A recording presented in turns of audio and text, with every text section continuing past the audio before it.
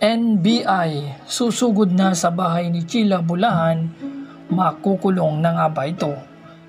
Taliwas sa lumalabas na balita na nakipag-ugnayan na dumano si Chila sa NBI matapos ang sabina sa kanya, ang totoo niyan ay uh, sabi-sabi lang pala ito para palabasin sa social media na nakikipag-operate sila sa nasabing ahensya ng gobyerno.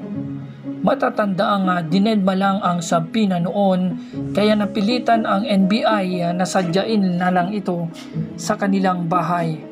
Ngunit tanging ang mga kapatid lamang nito ang uh, humarap sa NBI at tila takot na takot itong makipag-usap sa mga otoridad tungkol sa nawawalang asawang Siman. Mas binigyan pa di umano ng oras ang pagpunta o pag-attend sa kasal sa Iloilo kesa atupagin ang sabina na kailangan para sa isinasagawang investigasyon.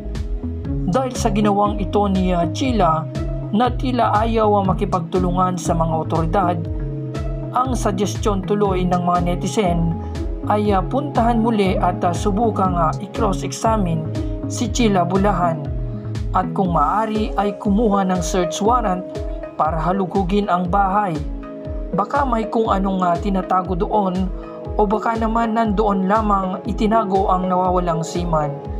Malakas ang kutob ng mga netizen na merong uh, tinatago o pinagtatakpan si Chila Bulahan.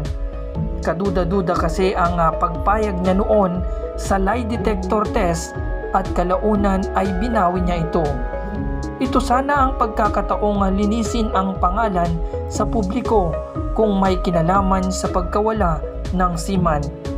Tanging NBI na lamang ngayon ang pag-asa ng pamilya Bulahan sa kasong ito matapos mawalan ng tiwala sa mga pulis dumalag kapis. Para sa kanila, hindi sila makakakuha ng uh, hustisya na patas dahil mga kapatid at bayaw ni Chila ang ilan dito.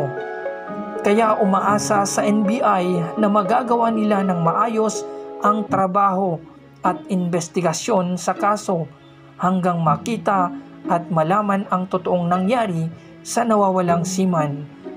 Samantala, pinatamaan naman ni Nelmar Bulahan ang pamilya Puliga na inggitero kaya iniligpit ang nakababatang kapatid. Ayon sa kanya, ayaw nilang malamangan dahil sa mga plano nitong mga negosyo.